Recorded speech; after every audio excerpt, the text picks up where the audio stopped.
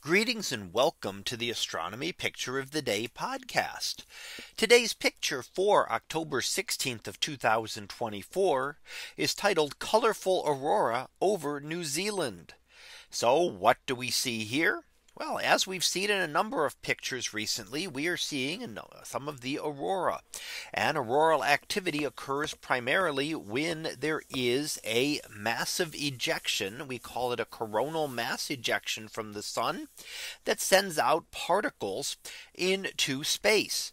Now, if that mass ejection happens to be directed in this general direction of Earth, then Particles will stream toward Earth, funnel along Earth's magnetic field lines and strike the Earth's atmosphere in the general direction of the magnetic poles. And that will give us the auroral activity that we see here. But there's more to it than that. And if we actually have this labeled, we can see a few different things here. First of all, we're looking in the southern hemisphere. So we're looking from New Zealand here. And that means two of the things we see just to the left of center are the Magellanic clouds. Now those are two small satellite galaxies of our own Milky Way. And we can see the large and small Magellanic Cloud there labeled as LMC and SMC. Now farther to the left, we see what is called an S SAR arc. And this is actually what we mean by it is a stable auroral red arc. And that is an arc that goes around the whole aurora.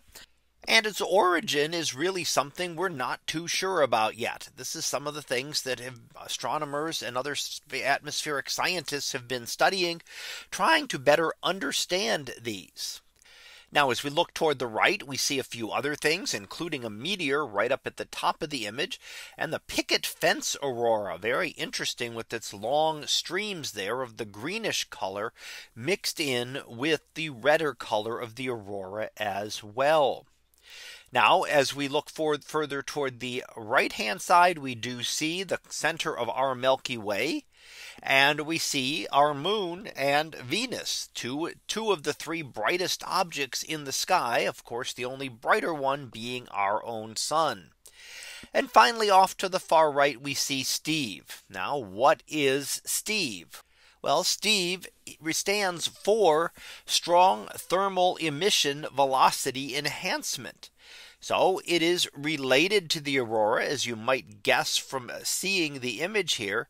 But you can also see that there's some differences between Steve over there and the other aurora scattered around toward the central portion of the image. So again, like the SAR arcs, it is something else that we still study and try to learn more about. Now all of these different effects that we see are all related to the auroral activity due to this coronal mass ejection. Now that would not be everything that the things like the Magellanic clouds and the Milky Way. And of course, Venus and the moon, as well as the meteor are not part of this. But the other different things that we see, the different color areas that we see there, including the SAR arc that we see to the left hand side, the picket fence aurora that we see in the middle, of course, the regular aurora scattered around the image, and even Steve off to the right hand side there are all auroral type activity and associated with those particles streaming out from the large solar storms that occurred this past week. So that was our picture of the day for October 16th of 2024. It was titled colorful aurora over New Zealand. We'll be back again tomorrow for the next picture. So until then, have a great day, everyone. And I will see you in class.